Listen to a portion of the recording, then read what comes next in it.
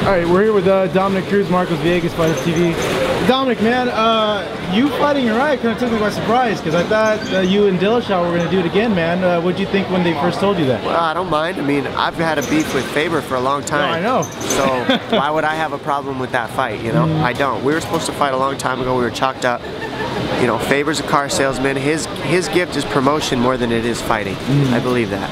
So, uh, you know, let him promote. Let him do what he wants to do because he's promoting himself. That's how he's got himself into this nine title shot situation. Mm. Uh, Dillashaw fights more than he promotes. And so the thing is, the Dillashaw fight's always going to be there. That guy is not going to go anywhere in the division. He believes he's he's uh, one of the better guys in the division, and so he'll he'll get a tough fight that he needs to go out there and win. I think, and let him do it. Me and Faber are going to scrap, and either way, he fights me.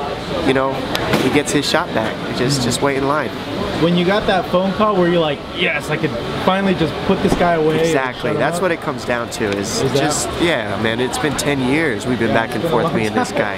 He doesn't shut up, he doesn't go away. Um, he's always running his mouth, always always promoting himself, uh, whether it's accepted or not, it doesn't matter. So yeah, I'm ready to shut it all down, man. I mean, just done talking about that. Now, you know, there was a, a while while you were suited out that you didn't really have to deal with Urijah because you were doing the analyst and you were recovering. Uh, the bad blood, though, is it as bad as it was in the build-up to the second fight? Is it kind of calmed down, or is it still the same? Or well, it's always about what's said in the new, in the present, right? And he's yeah. always got something stupid to say. He doesn't speak very. Everything he says is built off of emotion. There's no real logic to it. And the things that I can't understand people that speak that way. So when he talks, it's just ignorance spewing from his mouth constantly. And so yeah, I still don't like him. But um, there's there's no hate because hate wastes your energy. I've never hated a guy. I just, I just think he's an idiot, and I don't mind punching him in the face, and I am excited to go out there and hurt him. What do you think, in terms of, of the fight, is really different from you, given the fight you had with TJ, and with him, given the fights he's had up to this point?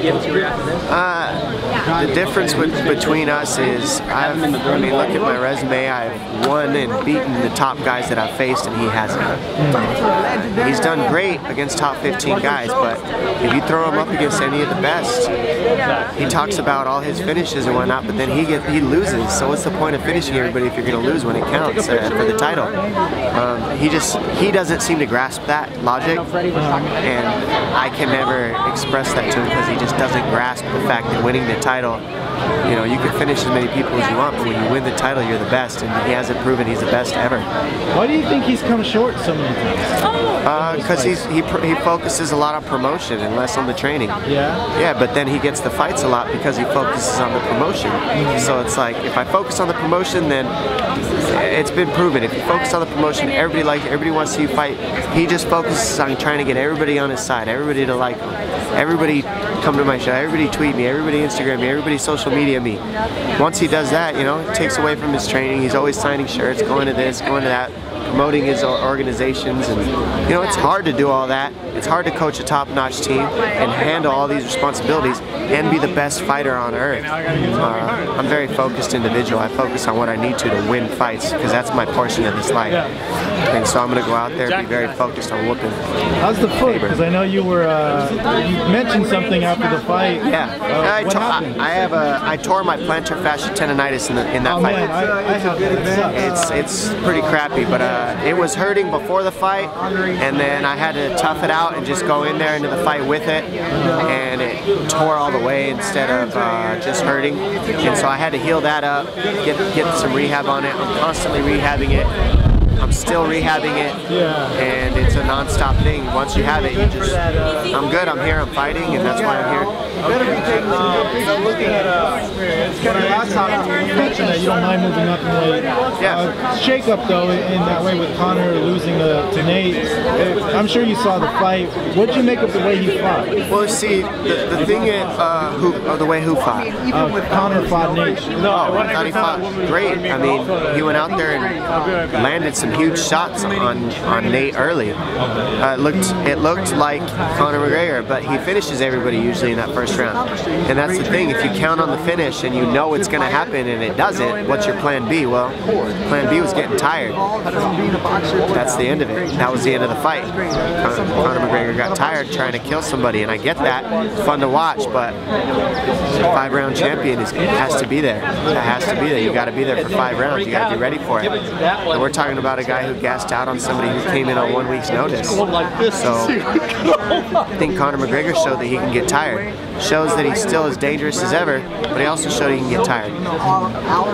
The second fight you had with Urijah, I remember watching it. He dropped you a few times with punches. He dropped I want to ask you, you know, you know, what do you think is going to be the difference compared to that fight? Because that's not the last Yeah. fight that we've seen of you two, you know? Well, I don't know what the difference is. I just go out there and, and fight my game, fight the way I did last time, and I'll Yeah. be fine. You know, I, I I threw everything in the kitchen sink at him, and he backed up the entire fight, waited for a good right hand.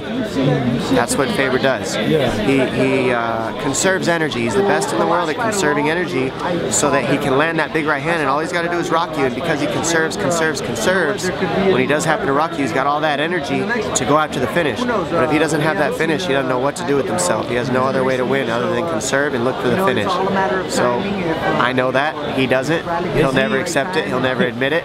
So I'll keep beating him. Is he better now than he was back then, or do you feel he was better back then than he is now? Uh, I think that he stayed exactly the same. So no whatsoever. I think that he's good.